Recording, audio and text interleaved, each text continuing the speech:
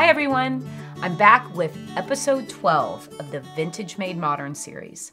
Today, we're going to talk about the November chapter, which is a thimbleful of gratitude.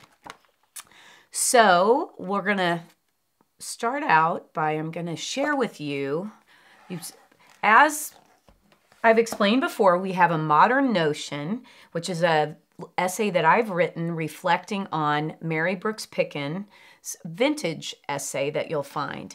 And um, for this opener, there's a really interesting piece of a linen embroidery here that I'm going to share some of my collection um, of pieces similar to this. But I first want to take a look um, and read you this little um, uh, excerpt here from Mary Brooks Picken, dated 1924.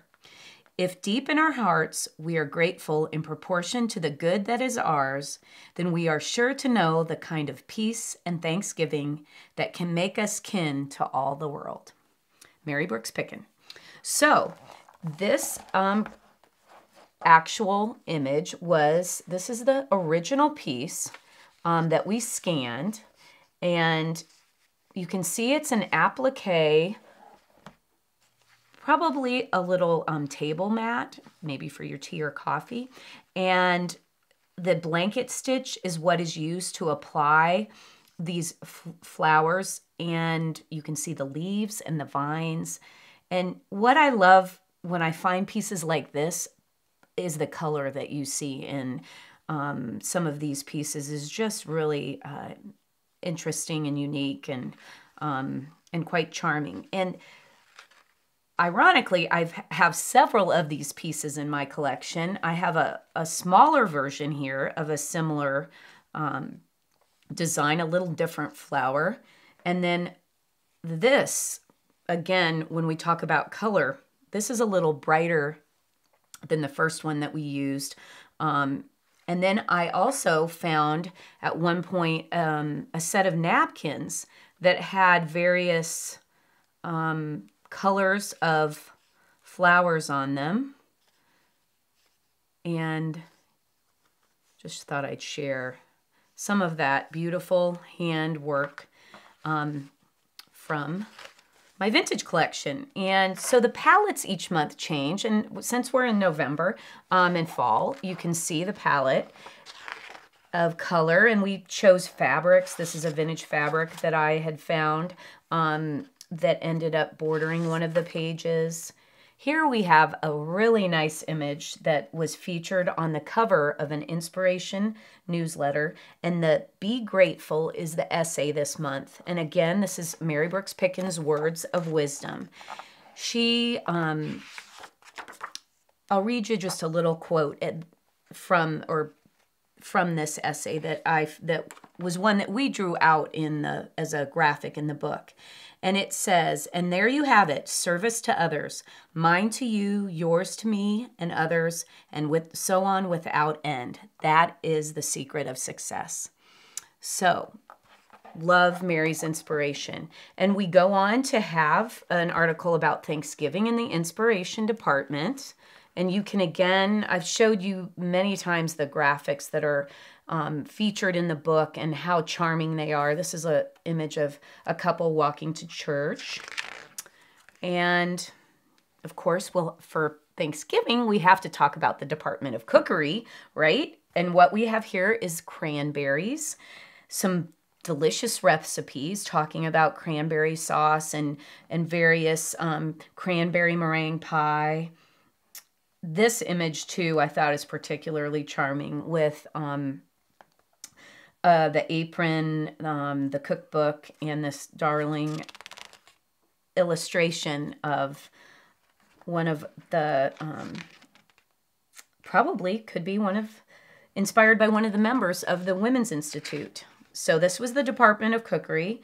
We of course are getting ready for Christmas, so we have some um, ideas for Christmas gifts handkerchiefs, smart bags, and a child's toy bag.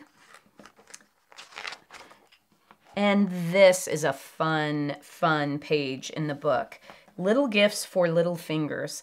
So again, um, the idea of embroidery and what I'm going to show you here is the actual um, apron that that those images um, came from. This is a just a simple white apron with a, little pocket. Um, but I think the fun cups and saucers dancing across the the um, bodice or the um, front of the apron bib. That's the word i was looking for. The bib of the apron are are quite charming. And here you can see again um, the little faces on the the plate and the cup and saucer. So that is um, featured in this ch chapter. Um, and then i want to get back to the book and talk to you about the magic pattern too. Um, so here we are switching gears um, we also have, um,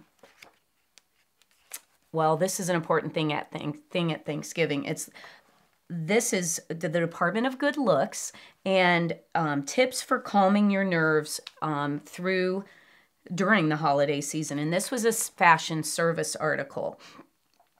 Moving on, so you want to read those tips keep keep your peacefulness through the season. And then of course um, fashion is always something that is a part of the chapters of the vintage notions book. And this is the department of millinery. And dress up hats for the holidays. So you can see the um, graphics along the side of the very stylish hats of the day. And then actually we added the definitions um, cloche um, around the border there. So the page is, I think, has a nice design to it. I thought, well, we'll share share with you some of the Indygo Junction's um, hats that have been popular. And to start out with, I'm going to grab the patterns here. Um, and this first we have the banded beret. And so the fun thing about this particular um, version of the pattern is that this is actually a flannel shirt that was recycled into the banded beret. And you can see we added a really um, unique mother of pearl button there too to the bow. So this hat is pretty simple to make. It has a little elastic in the back that allows for adjustment for size. Um, and again, I'll just show you how much fun you can take one of those um, uh, Pendleton, beautiful Pendleton wool maybe shirts that might have a hole in it and repurpose it into a fun hat. Now you can make this version and you could do it also. Let me get my little bag of, or my little um, collection of hats out to talk about. Um, let's see. First off, I'm going to show you the pattern cover of the um, this is the pattern cover of the hat I just showed you and the banded beret. And here is a version, another recycled version that we created that is out of denim. So keep that in mind that you, how accessible is denim as a fabric to be able, you might have a pair of jeans right in your closet you can cut up and make this hat. So um, again, this is an Indygo Junction pattern. And we also have the classic or excuse me, yes, the classic cap. And um, that we've also done in denim. So why don't I show you that first? Um, well, do I have that in denim? Yes, I do. Here it is. Um, so many fun samples to share. This is um, also a different variation on a flower that we have with this hat. And you can see in the denim how a little elastic in the back, and then you can have a lot of fun with your lining. We used a, a batik here to line it with a cotton batik, but that's our classic cap. And again, another recycling idea is maybe a men's suit, man's suit coat that you find um, that you can upcycle. And again, a cute little button that we've added. So of course, you could get black jeans and do a black denim. Um, or you could again find a pair of maybe trousers that had a nice plaid and um, cut them up. Hopefully, you don't take them out of somebody's closet that is going to miss those. But um, I wanted to give you those ideas for patterns and thing hats that you can make up. So that's the banded basket and classic cap. One more time. All right, so on to the magic pattern, right? We have an apron. It's that time of season, the season where you're going to want to have a pretty apron to wear for hosting um, holiday events. And of course, um, it's also what we give you the idea for in the book is that it can be a hostess gift for the holidays. So keep that in mind when you're thinking of gifts whether you make one of the magic pattern aprons or you find an Indygo Junction pattern that you like, we've got a ton of great aprons and that are for every um, every style, really lots of variety. And so this is the hostess for the holiday. And you can see, um, again, last month or last episode, we talked about bias tape. And here you can see where this um, version of the apron I actually have right here. And you can see where it has finished with bias um, tape around the edge. So again, this is the pattern for the this month's magic pattern. And what I like about this apron too, I talk about um, aprons that don't bind you behind the neck. And this is a nice one because it has over the shoulder straps. It also has pockets on the sides. It has a gathered pocket on the side. And um, so it's a really nice style of apron, comfortable and easy to wear. Lastly, I'm going to talk about buttons. And if you know how much I love vintage buttons, you might be aware of my book that I did called Buttonware. So this is a book that gives you lots and lots of different ideas for ways to turn your treasured buttons or found collections that you have into jewelry, into wearables, lots of fun ideas, little ornaments you can make with buttons. And on the page of this chapter, we have some um, Bakelite buttons that are featured. So I thought I'd pull a few of my Bakelite buttons from my collection um, and show them to you. So, and give you an idea of something fun you can do with your buttons maybe. So we, what we have here, I'll show you these four that I, that I um, pulled out of my collection. And then this is a bracelet that you can see where we stacked buttons and um, created um, a fun bracelet. And I know I probably actually bought this bracelet maybe at um, maybe at Quilt Festival in Houston.